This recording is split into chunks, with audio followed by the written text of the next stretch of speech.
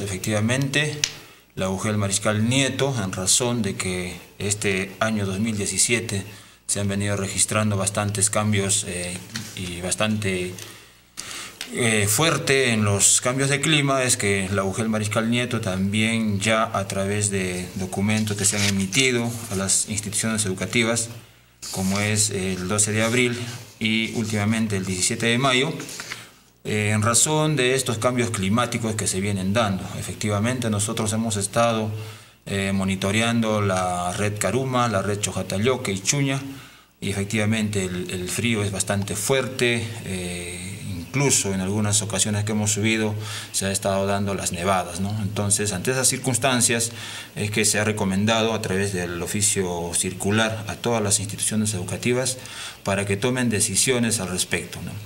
Esto indica de que cada institución educativa, dependiendo de estos cambios climáticos, de este friaje, de estas heladas, adopten eh, el ingreso a las eh, instituciones educativas según la zona, según el clima, lo vayan retrasando, ¿no? Media hora, 45 minutos, 20 minutos, eso ya lo determinan los directores de cada institución educativa. Asimismo se ha recomendado el uso de vestimenta, de ropa abrigadora, como también el, consumo de bebidas eh, calientes, ¿no? a fin de evitar que nuestros estudiantes eh, agarren alguna gripe, alguna tos, alguna enfermedad. Claro, en este caso ya tienen conocimiento los directores de la parte alta de Mariscal Nieto.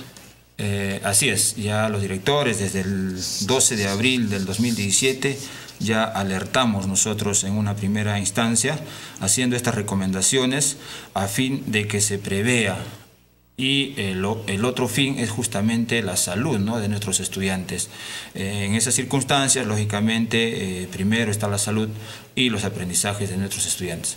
Claro, ¿hasta cuándo será esta, eh, este horario de invierno, profesor? generalmente en lo que es la parte rural, Moquegua, la Ugel Mariscal Nieto, estos, estas temperaturas bajas se vienen dando en los meses de mayo, junio, julio, agosto. Entonces son estos meses en los cuales los eh, directores de cada institución educativa deban adoptar estas recomendaciones a fin de evitar que nuestros estudiantes eh, tengan alguna dolencia o algún problema de salud. Claro, ¿esto va para colegios eh, públicos y colegios privados? Estas disposiciones, recomendaciones, justamente es para las instituciones eh, estatales como también eh, particulares. Eh, si bien es cierto, en la zona rural nuestras instituciones son de un solo turno, no tendríamos mayor problema, detalle al respecto, porque si se retrasa 45, media hora, lógicamente esto también se recorre ¿no? en, la salida.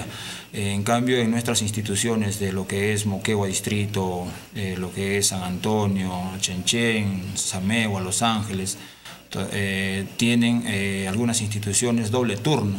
Entonces allí eh, los directores deben evaluar de qué manera se pueda hacer una reestructuración del, horario de ingreso y la salida, porque lógicamente tenemos que tomar en consideración ambos turnos. Tampoco podemos nosotros irnos en el turno de la tarde hasta las seis, seis y media, siete de la noche, ¿no? que sería un riesgo para nuestros estudiantes.